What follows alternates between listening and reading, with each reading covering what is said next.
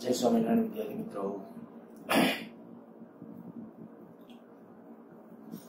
Last લેક્ચરમાં આપણે જે ડિસ્કશન કરેલું હતું સાર્થકતા અંકો અને એને રાઉન્ડ ઓફ કરવા માટેના નિયમો. ચોક્કસ સાર્થક અંકોને ધ્યાનમાં રાખીને જ્યારે રાઉન્ડ ઓફ છેલ્લે આપણે ત્યાં લેક્ચર પૂરો કરેલો હતો.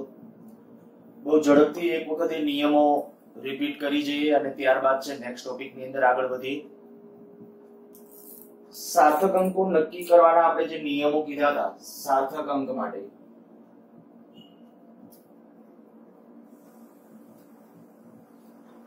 જો દશાંશ ચિહ્ન વાળી સંખ્યા હોય, દશાંશ ચિહ્ન, તો એવી દશાંશ ચિહ્ન વાળી સંખ્યા, દાખલા તરીકે હું લખું, આવી કોઈ એક સંખ્યા લખું છું.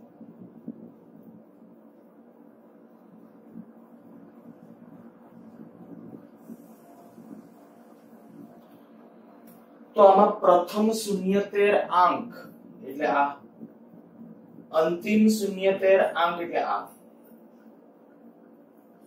જો દશાંશ ચિહ્ન વાળી સંખ્યા હોય તો મેં આવું કીધું હતું પ્રથમ શૂન્યતર અંકની ડાબી બાજુના એકેય શૂન્યાંકો અથવા શૂન્યો સાર્થક અંક નથી અંતિમ શૂન્યતેર અંકની જમણી બાજુના શૂન્યાંકો એ સાર્થક અંક છે અને વચ્ચેના શૂન્યાંકો પણ સાર્થક અંક છે. તો આમાં સાર્થક અંકોની સંખ્યા કેટલી થાય? આ શૂન્યો સાર્થક અંકમાં આવશે, વચ્ચેના આવશે.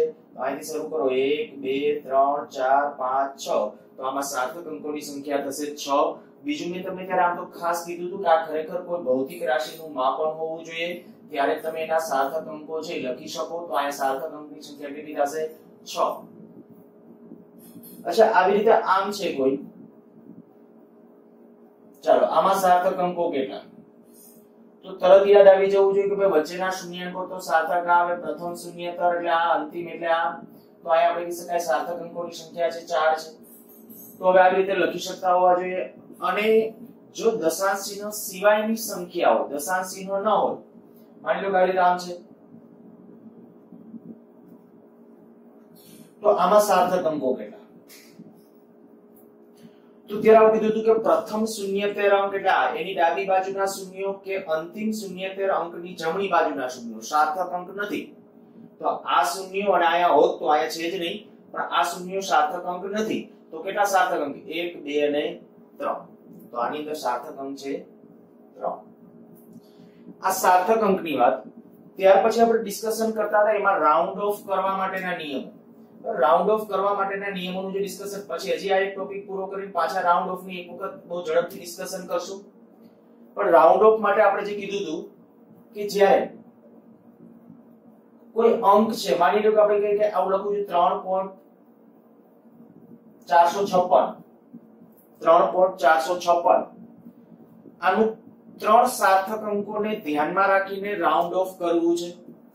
જો ત્રણ સાર્થક અંકો, આવા સાર્થક અંકો છે કેટલા? અત્યારે ચાર.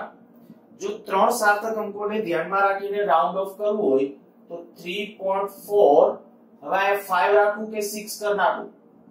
તો આપણને ખબર છે કે ભાઈ ત્રણ સાર્થક અંક જોઈએ છે. તો આ ત્રણ સાર્થક અંક પહેલા આપણે લખી નાખ્યા અને ચોથો જુઓ અંક. એ ચોથો અંક જો 5 કરતા મોટો હોય, તો બીજું કંઈ પણ વિચાર્યા સિવાય સીધું આની અંદર એક એડ કરી નાખો, એટલે થઈ જશે 3.46 તો આ ત્રણ સાર્થક અંકોને ધ્યાનમાં રાખીને, નો, ત્રણ સાર્થક અંકોને ધ્યાનમાં રાખીને રાઉન્ડ ઓફ આ રાઉન્ડ ઓફ કર્યું કહેવાય? અચ્છા, આનું નાનું મારે બે સાર્થક અંકોને ધ્યાનમાં રાખીને રાઉન્ડ ઓફ કરવું હોય તો, બરાબર? આ ત્રણ માટે થયું. એટલે બે સાર્થક અંકોને ધ્યાનમાં રાખીને રાઉન્ડ ઓફ કરવું હોય તો પહેલા 3.4 લખી નાખું. પછી શું જુઓ કે પાછળ આંક જે છે 5 છે. હવે પાંચ હોય તો મેં શું કીધું હતું કે એના પછી જો કોઈ અંકો હોય ને, પાંચ પછી કોઈ અંકો હોય, શૂન્ય સિવાયના, કોઈ પણ. તો શું કરવાનું? તો એક એડ કરી જ નાખવાનો છે. એનો અર્થ કે અહીંયા થઈ જશે આ રીતે અચ્છા, અને આ લખવું યોગ્ય છે કે 3.50 લખવું યોગ્ય છે? તો કે આ બરાબર છે. કારણ કે સાર્થક અંકો કેટલા હોવા જોઈએ? બે. આપણે કીધું બે સાર્થક અંકો. તો આ એક ને બે. 3.50 કરો, તો ત્રણ સાર્થક અંકો થઈ જાય. ધ્યાન રાખજો મેથેમેટિકલી ભલે સાચું હોય, પણ ભૌતિક વિજ્ઞાનની દ્રષ્ટિએ અથવા સાર્થકતાની દ્રષ્ટિએ 3.50 એ ખોટું થાય. આપણે 3.5 ફરજિયાત લખવું પડે. બીજું આપણે ડિસ્કશન કરી ગયા હતા કે જે જ્યારે કોઈ મેથેમેટિકલ આંકડો હોય, તો એના સાર્થક અંકો ઇન્ફાઇનાઇટ દાખલા તરીકે હું ત્યારે ઉદાહરણ આપું તો પાઈ પાઈ ની કિંમત ત્રણ પોઈન્ટ ચૌદ. આપણે લઈ લઈએ છીએ, બાકી ખરેખર આમ તો ત્રણ પોઈન્ટ ચૌદ પછી આગળ હજી આંકડાઓ આવે છે. તો ત્યારે આપણે કહીએ કે ભાઈ સાર્થક અંકો ખરેખર એવી કોઈ પણ અચળાંક હોય એના ઇન્ફાઇનાઇટ એના કેટલા હોય? ઇન્ફાઇનાઇટ ઇન્ફાઇનાઇટ સાર્થક અંકો હોય. જ્યારે કોઈ મેથેમેટિકલ અચળાંક આવે તો. એનો અર્થ શું થાય કે મેં અર્થે તમને એવું કીધું હતું કે ભાઈ દાખલા તરીકે આ બે છે મેથેમેટિકલી આપણે એવું કહીએ કે આ બે. તો આમાં સાર્થક અંક તરફ કહેશું એક. એનો અર્થ કે આ અંક અનિશ્ચિત. કારણ કે સાર્થક સંખ્યા કેને કહેવાય યાદ કરો? સાર્થક સંખ્યામાં મેં કીધું હતું કે એક અનિશ્ચિત અંકો એટલે બાકીના નિશ્ચિત અંકો વડે જે સંખ્યા તૈયાર થાય ને એ, તો હું આ લખું, બગડો. આ જ્યારે આપણે આ બે લખીએ છીએ, તો એનો એક જ અંક, એક જ અંક લખીએ, તો એ તો અનિશ્ચિત થાય. જો ભૌતિક વિજ્ઞાનની દ્રષ્ટિએ વિચારો તો કે આ અનિશ્ચિત છે. મીન્સ કે બેની વેલ્યુ એ ફિક્સ નથી. આનો અર્થ એવો થાય રિયલમાં મેથેમેટિકલી બે એક ખૂબ જ ફિક્સ છે અને પરિણામે આપણે કહીએ તો મેથેમેટિકલી જ્યારે આને લખવું ત્યારે આમ લખાય બે point zero zero zero zero zero zero zero અનંત વખત શૂન્ય છે પાછળ લખી શકાય. જો કોઈ ભૌતિક રાશિનું માપન નથી અને માત્ર મેં બે કોઈ એક સાદો આપણે ગુણાકાર છે મેથેમેટિકલ એક ગુણન રાશિ તરીકે, ગુણન તરીકે તમે આ બે ગુણો છો, પાઈ ગુણો છો, ટુ પાઈ ગુણો છો, આવું કંઈ પણ આવતું હોય તો. એ સાર્થક અંકોની વાત હતી. અચ્છા, હવે આપણે આજે જે જોવું છે ને ખૂબ આપણો અગત્યનો આપણને જે પૂછાય છે એવા કેટલાક પ્રશ્નોના ડિસ્કશન માટે આ ખાલી આપણે ટૂંકમાં ઝડપથી રિવિઝન હતું. હવે જુઓ. ટોપિક આપણો બે પોઈન્ટ સાત હતો, એનો જ બે પોઈન્ટ સાત પોઈન્ટ એક. સાર્થક સંખ્યાની ગાણિતિક પ્રક્રિયા અંગેના નિયમો. સાર્થક સંખ્યાની ગાણિતિક પ્રક્રિયા. ગાણિતિક પ્રક્રિયા એટલે કઈ? તો કે સરવાળા, બાદબાકી, ગુણાકાર, ભાગાકાર, આ એની આપણી મુખ્ય ગાણિતિક પ્રક્રિયા. પછી વર્ગમૂળ હોઈ શકે, ઘનમૂળ હોઈ શકે, ઘન હોઈ શકે, પણ એ ગાણિતિક પ્રક્રિયાનો એક પાર્ટ જ છે ટૂંકમાં. હવે એવી કોઈ પણ ગાણિતિક પ્રક્રિયા હોય, તો એ વખતે તમારે એના કેલ્ક્યુલેશનોમાં કઈ ધ્યાન રાખવી પડે?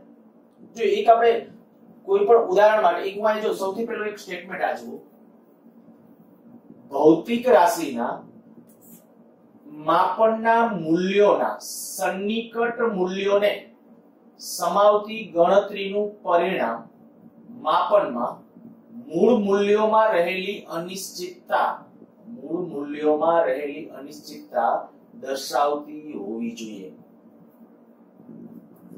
સ્ટેટમેન્ટ કદાચ સમજવામાં પહેલી વખતમાં તમને કદાચ થોડું વિચિત્ર લાગતું હોય આવું બની શકે. પણ જુઓ, ભૌતિક રાશિના માપનના કોઈ પણ ભૌતિક રાશિનું તમે જ્યારે માપન કરો છો, ત્યારે એના મૂલ્યોના સન્નિકટ મૂલ્યોને, સન્નિકટ એટલે નિકટતમ, જેને આપણે રાઉન્ડ ઓફ કરીને કદાચ જે મૂલ્ય લખવાના હોય તે? સન્નિકટ મૂલ્ય એટલે નિકટતમ મૂલ્ય. એનું સન્નિકટ, મેં કીધું રાઉન્ડ ઓફ કરીને જે લખો. તો સન્નિકટ મૂલ્યને સમાવતી ગણતરી, જ્યારે તમારે રાઉન્ડ ઓફ કરવાનું છે, તો કેવી રીતે કરવાનું? રાઉન્ડ ઓફ કરવું હોય તો તમને ત્રણ આંકડા, ચાર આંકડા, કેટલા અંકોને ધ્યાનમાં રાખીને રાઉન્ડ ઓફ કરવાનું? એના માટેની વાત છે? ભૌતિક રાશિના માપનના મૂલ્યોના સન્નિકટ મૂલ્યોને સમાવતી ગણતરીનું પરિણામ. માપનમાં મૂળ મૂલ્યોમાં રહેલી અનિશ્ચિતતા દર્શાવતી હોવી જોઈએ. એક ઉદાહરણથી આપણે સમજવા ટ્રાય કરીએ. દાખલા તરીકે કોઈ પદાર્થનું દળ, આ ટેક્સ્ટબુકમાં જ આપેલું ઉદાહરણ છે. પદાર્થનું દળ ચાર પોઈન્ટ બસો ને સાડત્રીસ ગ્રામ છે. પદાર્થનું દળ કેટલું કહું છું? ચાર પોઈન્ટ બસો ને સાડત્રીસ ગ્રામ. અને એનું કદ છે બે પોઈન્ટ એકાવન સેન્ટીમીટર ઘન. કદનો એકમ કદ એટલે ઘનફળ. એનો એકમ છે બે પોઈન્ટ એકાવન સેન્ટીમીટર ઘન. એટલે આટલું મૂલ્ય છે અને આ એનો એકમ છે. એટલે આ આનું મૂલ્ય છે, આ એકમ છે. અચ્છા, દળનું માપન છે. જોજો આ જે દળનું માપન છે, એની અંદર હું તમને કહું, ભાઈ, થોડું આમ ત્રુટીની દ્રષ્ટિએ જરાક વિચારવો જોઈએ. કે આમાં અનિશ્ચિત આંક કયો છે? તો તરત તમે કહી શકતા હોય કે આ સાત જે છે ને એ અનિશ્ચિત આંક હોય. બાકીના આપણા સ્યોરિટી સાથેના અંકો આ હશે ચાર, બે અને ત્રણ. સાર્થક અંક? આપણે ખબર છે આના સાર્થક અંકો કેટલા? ચાર. કારણ કે સાર્થક સંખ્યાની વ્યાખ્યા વખતે આપણે કીધું હતું, સાર્થક સંખ્યા કેને કહેવાય? તો એક અનિશ્ચિત અંક. અને બાકીના નિશ્ચિત અંકો વડે જે સંખ્યા બને, તો એક અનિશ્ચિત એટલે એક આ અને બીજા જે ત્રણ નિશ્ચિત. એના તો આનો અર્થ એવો કે આના સાર્થક અંકો કેટલા છે? ચાર. કદ જે માપ્યું એમાં સાર્થક અંકો કેટલા છે? તો કે કદ જે માપન કર્યું એમાં સાર્થક અંકો ત્રણ આ એક, બે અને ત્રણ. આ ત્રણ સાર્થક અંકો છે. તો દળ આટલું હોય, કદ આટલું હોય, આપણે દાખલા તરીકે પદાર્થની ઘનતા નક્કી કરવા માટે આ જ બે ડેટાનો ઉપયોગ કરવો છે. તો હું જ્યારે આવું કરું કે આ પદાર્થની ઘનતા, હવે ઘનતા એટલે શું થાય? તો કે દળના છેદમાં કદ. વિચારો કે જ્યારે પદાર્થનું દળ લઉં છેદમાં પદાર્થનું કદ કહો, તો પદાર્થના દળના છેદમાં પદાર્થનું કદ લખીએ. તો આ આપણે કે દળ તરીકે મેં આ લખ્યું છે, કદ તરીકે આ લખ્યું છે, અને તમે કેલ્ક્યુલેટરમાં એનું સાદું રૂપ આપજો. તો કેલ્ક્યુલેટરમાં જ્યારે આના ભાગ્યા આ કરશો ને, એટલે આવો કંઈક ફિગર આવશે. હવે તમે જવાબ તરીકે આ લખો તો એ વધુ એક્યુરેટ આ આ સાચો જવાબ ગણાય કે બીજો કોઈ સાચો જવાબ ગણાય? તો કે આ જવાબ સાચો ન ગણાય. મેથેમેટિકલી ભલે સાચો હોય, પણ ભૌતિક વિજ્ઞાનની જો સાર્થકતાની દ્રષ્ટિએ જ્યારે વિચારો છો, તો આ જવાબ તમારો ખોટો છે. એટલા માટે ખોટો છે કે તમે જ્યારે દળનું માપન કર્યું, ત્યારે તમે કહી શકો છો કે ભાઈ, આ એક અનિશ્ચિત અંક છે. મીન્સ કે સાર્થક અંકો મુદલ કેટલા છે? ચાર. મીન્સ કે તમે જે સાધનની મદદથી આ દળ માપ્યું છે એ સાધન જ એવું છે કે આ પોઈન્ટ પછી આપણે કે એક, બે અને ત્રણ આંકડા એ. ત્રણ આંકડાની જે આ એક્યુરેટ પછી આ અંકની એક્યુરસી નથી ટૂંકમાં. આ અંક સુધી એક્યુરસી છે. એ રીતે જે કદ તમે જે સાધનથી માપ્યું છે, એ સાધનની જે ત્રુટિ કે જે પછી કોઈ પણ ત્રુટિ હોઈ શકે, શૂન્ય ત્રુટિ હોઈ શકે, બીજી કોઈ પણ ત્રુટિ હોઈ શકે. પણ આપણે અત્યારે જે વાત કરીએ છીએ કે ભાઈ જે અવ્યવસ્થિત ત્રુટીના એક પાર્ટ રૂપે, માની લો કે આ જે બીજી સંખ્યા છે, તો આની અંદર એક, બે અને 3 તો આ અંક તો નિશ્ચિત છે. આ બે અંકો નિશ્ચિત છે. હવે જો હું આ જવાબ લખી નાખું ને, તો તો આનો અર્થ એવો થાય કે આ જે અંક છે, એમાં આ એક, બે, ત્રણ, ચાર, પાંચ, છ, સાત, આઠ, નવ, દસ, અગિયાર કંઈક બાર અંકો સુધી આય પોઈન્ટ પછીના તો આંકડા થયા. ટોટલ કંઈક બાર અંકો જેવું થયું. તો આટલા અંકો સુધી, આનો અર્થ ઇન્ડાયરેક્ટ એવો થયો કે ભાઈ તમે જે માપન કર્યું છે ને માપનમાં આયા સુધી તો ચોક્કસ છે, આ અંક અનિશ્ચિત છે. હવે એ પોસિબલ જ નથી. એ પોસિબલ જ નથી. કેમ પોસિબલ નથી? તો કે તમે જે દળ માપ્યું, એ દળ ચોથા આંકડે ત્રુટી આવી જાય છે. કદ માપ્યું, એમાં પણ આપણે કહીએ કે ભાઈ ત્રીજા આંકડે ત્રુટી છે. અનિશ્ચિત છે. ટૂંકા ત્રુટી કરતા આપણે આ ત્રીજો અંક આયા છે ત્રુટિ વાળો છે મીન્સ કે અનિશ્ચિત છે. આમાં ચોથો આ ત્રુટિ વાળો છે. હવે એ જ બે ડેટાનો ઉપયોગ કરું, હું ઘનતા નક્કી કરું એમ કહું ઘનતા છે. મેં એક્ઝેક્ટ એક્યુરેસી પૂર્વક માપી છે, કોઈ પોઈન્ટ પછીના 10 આંકડા સુધી એક્યુરેટ છે, તો એ પોસિબલ નથી. સામાન્ય એમને તમે સ્વાભાવિક રીતે, હું એક દાખલા તરીકે અત્યારે ચાલો, તમે યુટ્યુબમાં વિડિયો જોવો છો. હવે હું આથી જ્યારે યુટ્યુબમાં દાખલા તરીકે માની લો કે મારા લેપટોપની અંદર છે, વીડિયો રેકોર્ડિંગ કરું એનો VGA કેમેરો હોય. VGA કેમેરો હોય એટલે કદાચ એકસો અઠ્યાવીસ અથવા બસો છપ્પન આવી કોઈ રિઝોલ્યુશન સાથે રેકોર્ડિંગ થાય. માની લો કે ઈ રેકોર્ડિંગ સાથેનો વિડિયો હું YouTube માં અપલોડ કરી નાખું. પછી તમે એમ કહો કે YouTube માં તમે જ્યારે વિડિયો જોવો છો ત્યારે તમે એમ કહો 360 રિઝોલ્યુશન સાથે તમે વિડિયો જોઈ શકશો. 720 રિઝોલ્યુશન સાથે જોઈ શકશો. પોસિબલ નથી. કારણ કે જ્યારે જે ઓલરેડી જે અપલોડ કરવામાં આવેલું છે, જે અપલોડ કરવામાં આવેલું છે, એનું રિઝોલ્યુશન જો મેં કીધું 256 નું છે 180 નું છે, એવું રિઝોલ્યુશન છે. તો જ્યારે તમે એને જ્યારે જોવો છો, ત્યારે એનાથી કોઈ ઊંચું રિઝોલ્યુશન આવી શકે નહીં. કારણ કે ત્યાં ઓલરેડી આપણે કહી શકીએ કે ભાઈ રિઝોલ્યુશન જોવા માટેની ત્રુટિ થઈ ગઈ કહેવાય ત્યાં. એવી રીતે આયા દેખીતી વાત એ છે કે ભાઈ દળના માપનની એક ચોક્કસ અંકે ત્રુટિ છે, કદના માપનની અંદર એક ચોક્કસ ત્રુટિ છે, તો કોઈ દિવસ આ રીતે, એટલે કે એનો અર્થ એવો થાય કે ખરેખર આ જે તમારો ઘનતાનો જવાબ છે, એ સાર્થક અંકોની દ્રષ્ટિએ યોગ્ય નથી. તો કે તો શું કરવું? તો કે તો એના માટે આપણે ગુણાકાર અને ભાગાકારનો નિયમ અને બીજો સરવાળા અને બાદબાકી હોય તો ત્રુટીઓની દ્રષ્ટિએ ગુણાકાર, ભાગાકાર કેમ કરવા? સરવાળા બાદબાકી કેમ કરવા? એ સમજવાનો પ્રયત્ન કરીએ. તો જુઓ, ગુણાકાર અને ભાગાકાર માટે સંખ્યાઓના ગુણાકાર કે ભાગાકારથી મળતા અંતિમ પરિણામમાં એટલા જ સાર્થક અંકો હોવા જોઈએ. જેટલા મૂળ સંખ્યાઓ પૈકીના જે સંખ્યામાં લઘુત્તમ સાર્થક અંકો હોય. ફરીથી સ્ટેટમેન્ટ વાંચો. અંતિમ પરિણામમાં એટલા જ સાર્થક, આ અંતિમ પરિણામ છે.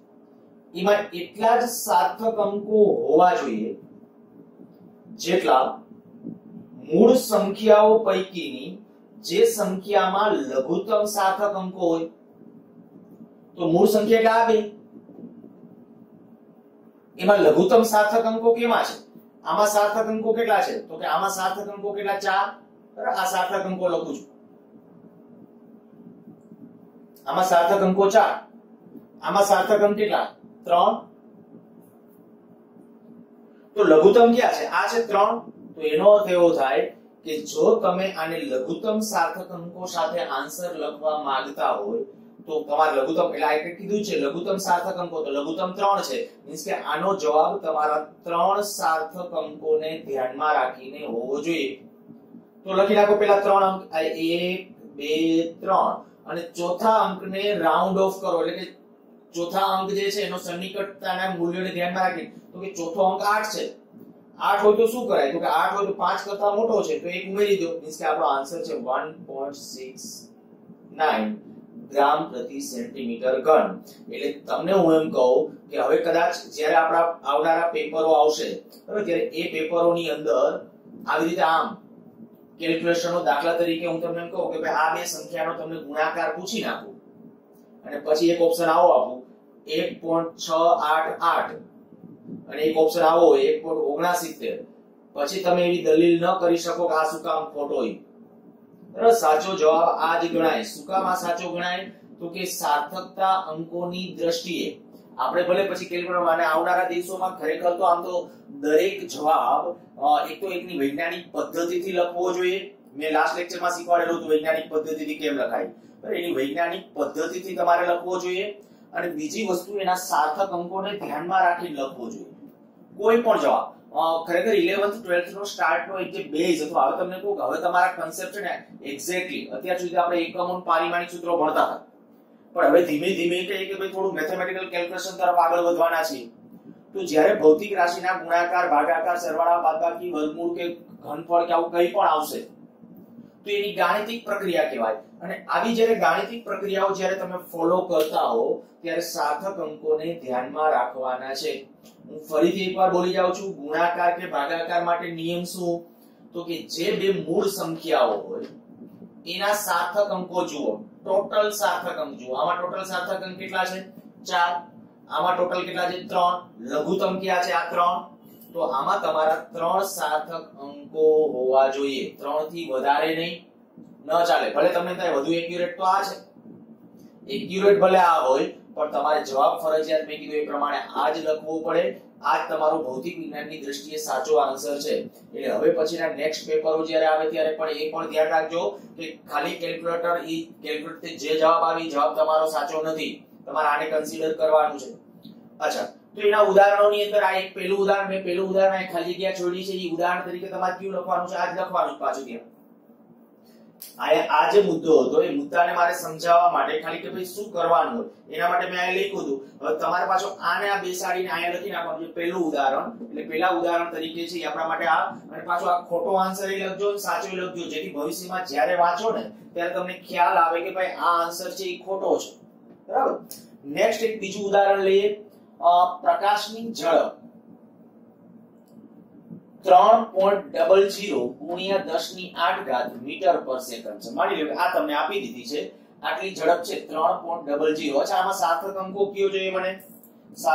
કેટલા? ગણાશે આ દશાંશ ચિહ્ન વાળી સંખ્યા છે, તો આ બાજુના અંકો સાર્થક અંકો ગણાય. તો આમાં સાર્થક અંકો કેટલા છે? ત્રણ. આ સાર્થક અંકો. તો આની અંદર ત્રણ સાર્થક અંકો છે. અચ્છા આપણે કેલ્ક્યુલેશન શું કરવું છે? તો કે પ્રકાશ વર્ષ. પ્રકાશ વર્ષ એટલે શું? તો કે પ્રકાશે એક વર્ષમાં કાપેલું લાઈટ લાઈટ પ્રકાશ એટલે લાઈટ એમણે એક વર્ષમાં કાપેલું અંતર. એક વર્ષમાં જે પ્રકાશ, જે ડિસ્ટન્સ કાપે. હવે આનો અર્થ તો એ તો ખ્યાલ થઈ ગયો કે ભાઈ એક સેકન્ડમાં પ્રકાશ આટલું અંતર કાપે, તો એક વર્ષમાં એ કેટલું અંતર કાપે એ નક્કી કરવું છે. એક સેકન્ડમાં આટલું. તો કે તો પેલા ઈ કરો કે એક વર્ષમાં કેટલી સેકન્ડ હોય? તો કે એક વર્ષ, જો આ એક વર્ષ, એટલે ત્રણસો પાસઠ પોઈન્ટ પચીસ દિવસો. તમને ખબર છે કે લીપ યર આવે ચાર વર્ષે. એટલે એને ધ્યાનમાં ત્રણસો પાસઠ દિવસો ન કહેવાય, ત્રણસો પાસઠ પોઈન્ટ પચીસ દિવસો. આટલા એક વર્ષમાં દિવસો છે. હવે એક દિવસમાં ચોવીસ કલાક અને એક કલાકમાં છત્રીસો સેકન્ડ, એટલે મેં એનો ગુણાકાર કરી નાખ્યો છે. બરાબર? જે ગુણાકાર હોય અહીંયા અત્યારે આન્સર લખી નાખ્યો છે. તમને એમ થશે કે અહીંયા સાર્થક અંક કેટલા? બે. અહીંયા સાર્થક અંક ચાર. તો આ ત્રણેયનો ગુણાકાર કરી તો બે સાર્થક અંક સાથે જવાબ લખવાનો? તો અહીંયા નહીં. આયા નથી જોવાનું. આ છે ને મધ્યવર્તી કેલ્ક્યુલેશન કહેવાય. અને મધ્યવર્તી કેલ્ક્યુલેશનમાં હંમેશા ધ્યાન રાખજો, નહીતર પછી ભવિષ્યમાં હલવાશો. બરાબર?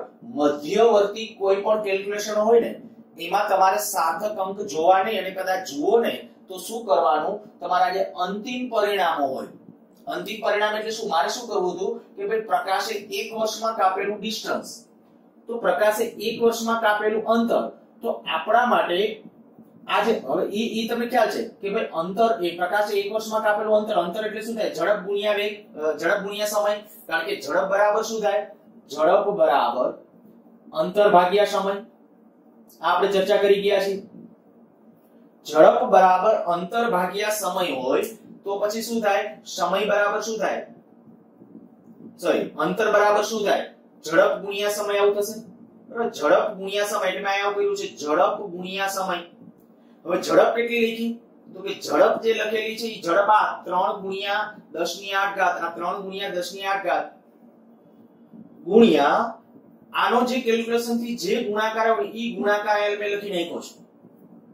હજી આગળ આંકડા આવશે. હજી તમે કેલ્ક્યુલેશનમાં ખરેખર આનું કેલ્ક્યુલેટરમાં સાદું રૂપ આપજો, તો હજી આયા મેં અટકાવી દીધું છે.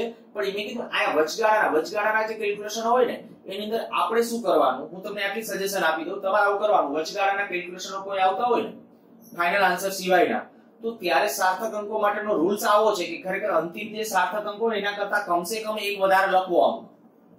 પણ એ ભૂલી જાઓ. આપણે એ કામ નહીં, હું તમને ખાલી આટલું કહું કે પોઈન્ટ પછી છે ને, અથવા પોઈન્ટ પહેલાના આંકડાને જો કન્સિડર કરો ને, એટલે પોઈન્ટ પહેલાનો એક આંકડો લખાતો તો ત્યાર પછી મેક્સિમમ ચાર અંકો લખો એટલે ચાલે.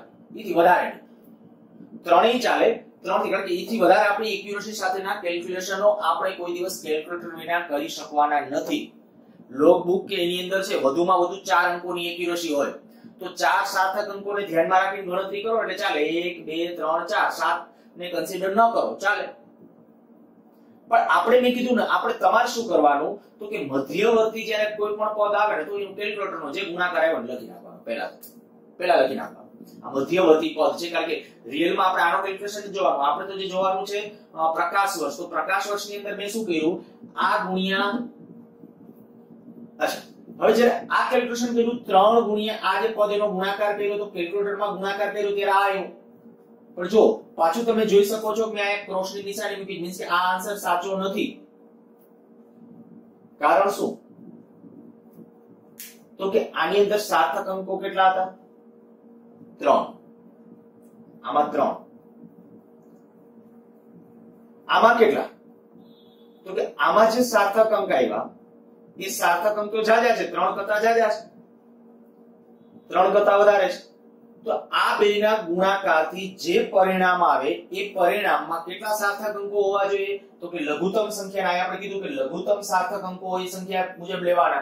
તો લઘુત્તમ એટલે ત્રણ છે. તો એનો અર્થ કે આમાં ત્રણ સાર્થક અંકો વિચારો, તો ત્રણ ક્યાં? એક, બે અને ત્રણ. ચોથો જુઓ અને એનું રાઉન્ડ ઓફ કરો. તો કે ચોથો સાત છે. સાત છે એટલે પાંચ કરતા મોટો છે અને પાંચ કરતા મોટો હોય તો એક ઉમેરી દેવાનો. એટલે આ એક ઉમેરી દો એટલે સાત થઈ ગયા. બાકીના અંકોને પડતા મૂકી દો બરાબર? જે અંક પડતો મૂકવાનો હોય ને, એનું રાઉન્ડ ઓફ કરવાનું છે.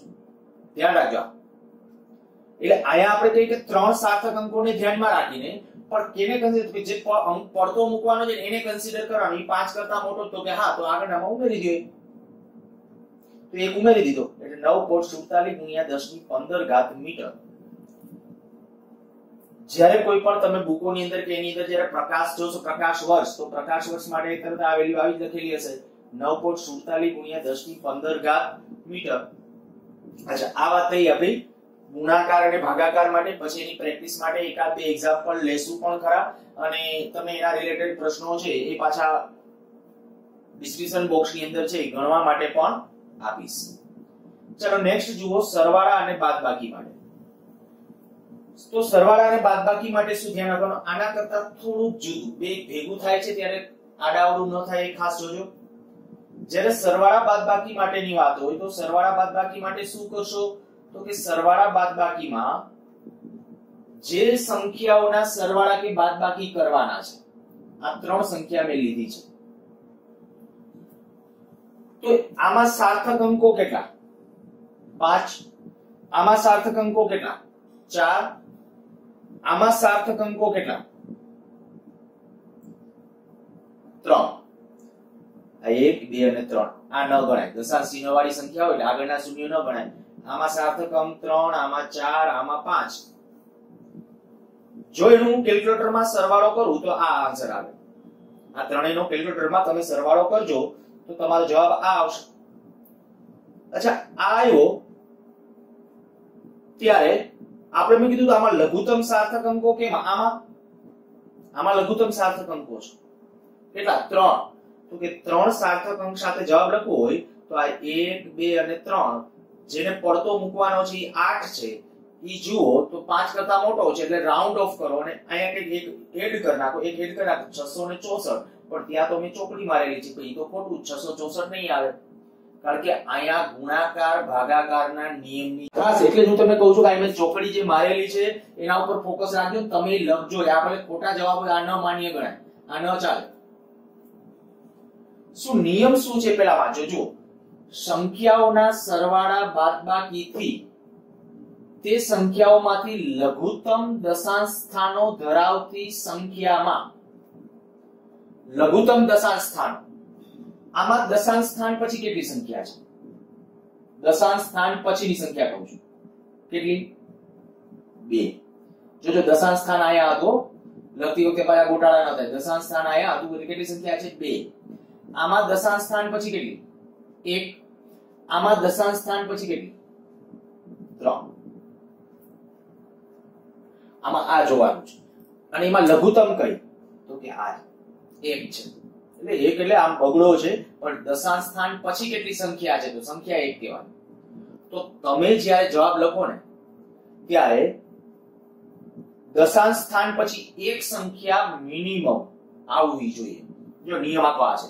સંખ્યાઓના સરવાળા બાદબાકીથી તે સંખ્યાઓમાંથી લઘુત્તમ દશાંશ સ્થાનો ધરાવતી સંખ્યામાં જેટલા દશાંશ સ્થાનો હોય તેટલા જ દશાંશ અંતિમ પરિણામમાં દર્શાવવા. સંખ્યામાં જેટલા દશાંશ સ્થાનો હોય, તેટલા દશાંશ લઘુત્તમ દશાંશ સ્થાનો જેમાં હોય. તો લઘુત્તમ આમાં છે કેટલા એક? તો એક સાથે દર્શાવવો. તો એક સાથે એટલે શું કર્યું? જો દશાંશ સ્થાન પછી મારે એક આંકડો રાખવાનો. હવે આમાં આગળ આપણે જોવાના જ નહીં. આગળ કદાચ ગમે એવી લાંબી સંખ્યા હોય જોવાની જ નહીં. દશાંશ સ્થાન પછી પેલા કેલ્ક્યુલેટરમાં સાદુરૂપ આપી દીધું. જે આવ્યું દશાંશ સ્થાન પછી કેટલા આંકડા આવ્યા તો કે દશાંશ સ્થાન પછી ત્રણ આવ્યા? તમારે એક જ લખવાનો છે. તો તમે આ એક જોયો, આઠ. પછી આનું રાઉન્ડ ઓફ કરો. તો કે પછી આને પડતો મૂકવાનો છે બે ને. તો કે બે તો પાંચ કરતા નાનો છે, તો કઈ ઉમેરવાની જરૂર નથી. મીન્સ કે આપણો સાચો જવાબ છે એ આ છે.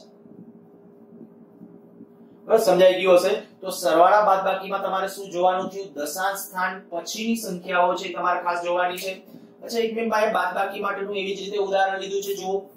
જ્યારે બાદબાકી માટેની વાત છે તો અહીંયા બે આંકડાઓ લઈ લીધા છે. બે કોઈ પણ દાખલા તરીકે 0.307 મીટર માઇનસ 0.304 મીટર. જ્યારે આમાંથી આ બાદ કરીએ તો કેલ્ક્યુલેટરમાં બાદબાકી આવી મળશે.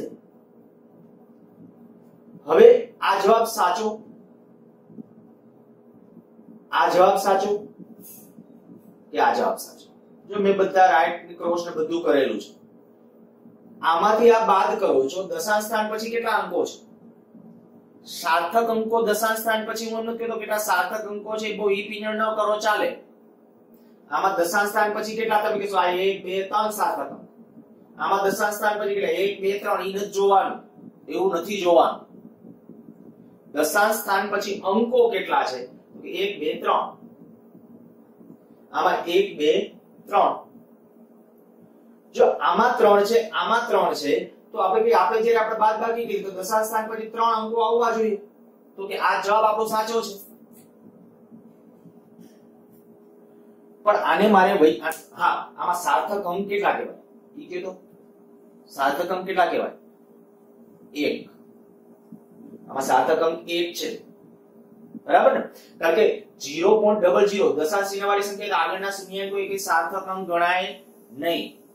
જો ઓલી રીતે તમે આમ ઘેરા થવા જાઓ આમાં સાર્થક અંકો કેટલા? તો કે આમાં કહેશો ત્રણ. આમાં કેટલા? ત્રણ. તો આમાં કહેશો દશાંશ સ્થાન પછી ત્રણ સાર્થક અંકો, આમાં દશાંશ સ્થાન પછી ત્રણ સાર્થક અંકો. તો તમે એમ કહેશો આમાં દશાંશ સ્થાન પછી ત્રણ સાર્થક અંકો હોવા જોઈએ. તો આમાં ક્યાં ગોતવા જશો?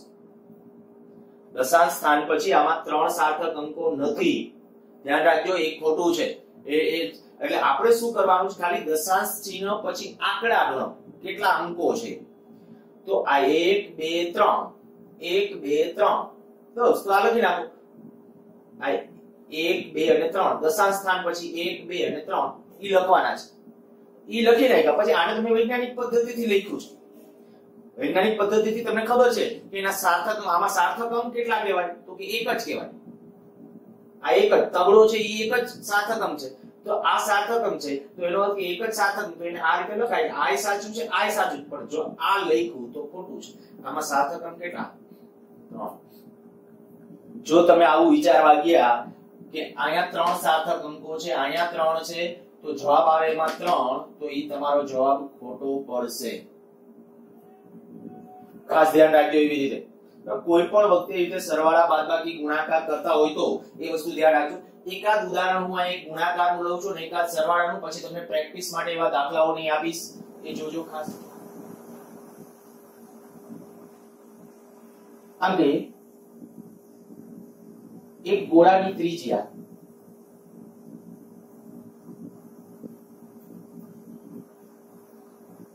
ચાર પોઈન્ટ જીરો ત્રેવીસ. મીટર છે. તો આ ગોળાનું ક્ષેત્રફળ અને ઘનફળ સાર્થક અંક સહિત જણાવો. જો હું પેલા ક્ષેત્રફળની વાત કરું તો ગોળાની સપાટીનું ક્ષેત્રફળનું સૂત્ર હવે તમને આવડતું હોવું જોઈએ. તો ગોળાની સપાટીનું ક્ષેત્રફળનું સૂત્ર શું આવે? 4 pi r square 4 pi r square. અચ્છા. 4 પાઈ r સ્ક્વેર. r એટલે કેટલું છે? 3 પોઈન્ટ. અચ્છા, અહીંયા પાઈ ની જગ્યાએ લખી નાખું છું 3.14 ખરેખર છે 3.142 બરાબર? 3.142 પણ આપણે જનરલી આપણા કેલ્ક્યુલેશનમાં કેટલું લઈએ છીએ? 3.14 આગળનો આંકડો હજી એક લેવો હોય તો લઈ શકાય છે. આ કેટલું? 4.023 ખરેખર તો વધુ એક્યુરેટ એ કહેવાય. કારણ કે આમાં કેટલા સાર્થક અંકો છે? ચાર. તો આને આપણે મિનિમમ ચાર લખો. વધુ સારું ગણાય. વધુ સારું ગણાય એવું કહું છું. પણ ઓલ કદાચ 3.14 લેશો તો આન્સરમાં ફેર પડવાનો નથી. અચ્છા, હવે જુઓ કે અહીંયા કઈ ભૌતિક રાશિઓના ગુણાકાર છે? કારણ કે આ પાઈ ના એના તો સાર્થક અંકો ઇન્ફાઇનાઇટ ગણાય પાઈ 4 આને તો સાર્થક અંકો ખાસ ધ્યાન રાખજો ઈ.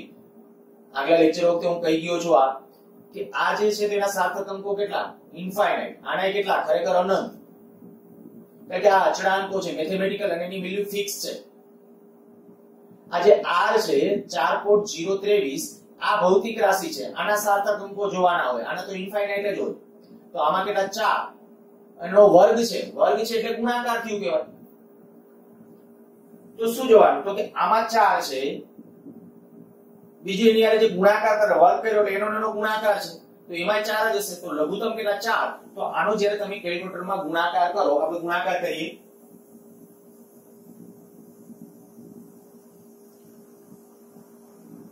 ચાર પોઈન્ટ જીરો ત્રેવીસ ગુણ્યા ચાર પોઈન્ટ જીરો ત્રેવીસ. ગુણ્યા ચાર ગુણ્યા ત્રણ પોઈન્ટ એકસો બેતાલીસ. કંઈક આન્સર આવે છે? બસો ત્રણ પોઈન્ટ ચારસો સાત. હજી આગળ આંકડા છે? જરૂર નથી એટલે લખતો નથી. આ ક્ષેત્રફળ આટલા મીટર સ્ક્વેર પણ આપણે શું કરશું? આ જવાબ માન્ય ગણાશે? તો કે નહીં? કેટલા સાર્થક અંકોને ધ્યાનમાં રાખવાના હતા? ગુણાકારમાં ટોટલ સાર્થક, ગુણાકાર ભાગાકારમાં ટોટલ ચાર. તો ચાર સાર્થક અંકો તો એક, બે, ત્રણ, ચાર. આને અંકને પડતો મૂકવાનો. પાંચથી નાનો છે કે મોટો? નાનો છે. તો કઈ વિચારો નહીં. લખી નાખવા બસો ત્રણ પોઈન્ટ ચાર મીટર સ્ક્વેર. આ થઈ ગયું ક્ષેત્રફળ. ચાલો ઘનફળ જો ઘનફળ નક્કી કરવું છે, તો ઘનફળ બરાબર, ઘનફળ એટલે કદ. કદ કેટલું થશે? તો ગોળાના કદનું સૂત્ર શું? ચાર તૃતીયાંશ પાય આર ઘન. તો ચાર તૃતીયાંશ પાય એટલે ત્રણ પોઈન્ટ એકસો બેતાલીસ, આર આરનું મૂલ્ય કેટલું છે? ચાર પોઈન્ટ જીરો ત્રેવીસ. એનો વર્ગ. આગળ.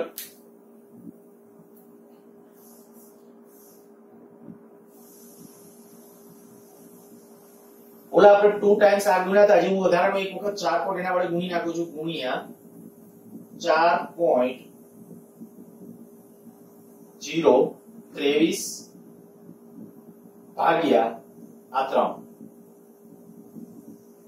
તો કંઈક આવે છે?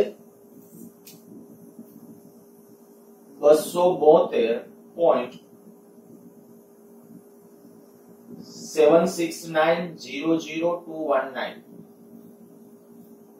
આટલું